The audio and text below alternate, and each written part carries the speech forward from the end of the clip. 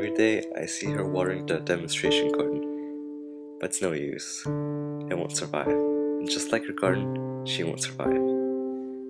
She needs to change, but she believes that the Lord helps those that help themselves. That won't work. She needs to change.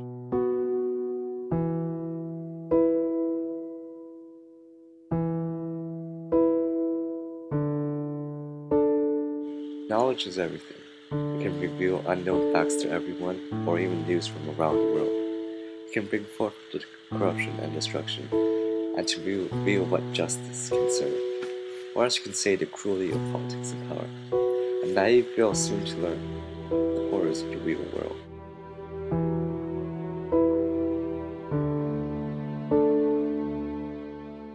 I, as true as truth can be, Béene I'm called. I have learned what the earth can offer, and I yearn to fly.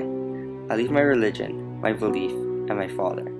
I love my father fiercely my whole life, and it changed nothing. A new name guides me now, Anatole.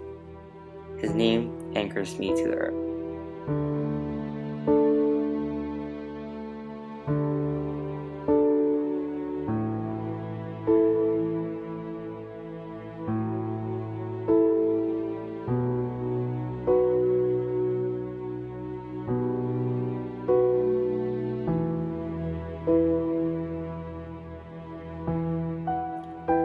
I am the unmissioner, beginning each day on my knees, asking to be converted.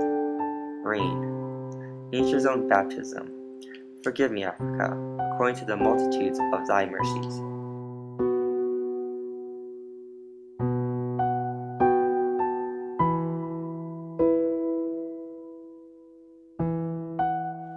This girl is different. Unlike others, she seeks the truth. I didn't choose her, but she chose me. Love changes everything. I'm taken away. I need her, but she needs me more.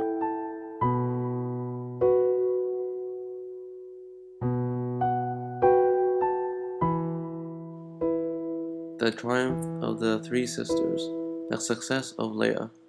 She's reached an understanding with the Congo, the jungle. The jungle is beautiful, but fraught with danger. The poisonwood tree, beautiful, yet if disregarded for even a moment, suffering and death will follow. The tropics will intoxicate you with the sweetness of frangipani flowers and lay you down with the sting of vapor, with hardly room to breathe in between.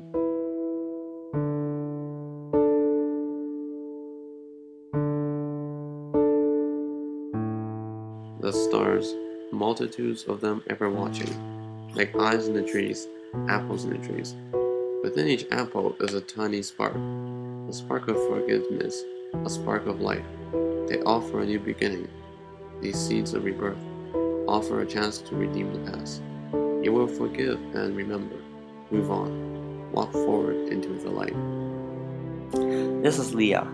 She learned that in life you can't hide behind a person like a shadow. Like a seedling, she was under the shadow of her father. Her father's shadow was too big, she couldn't grow. She needed her own light and found it.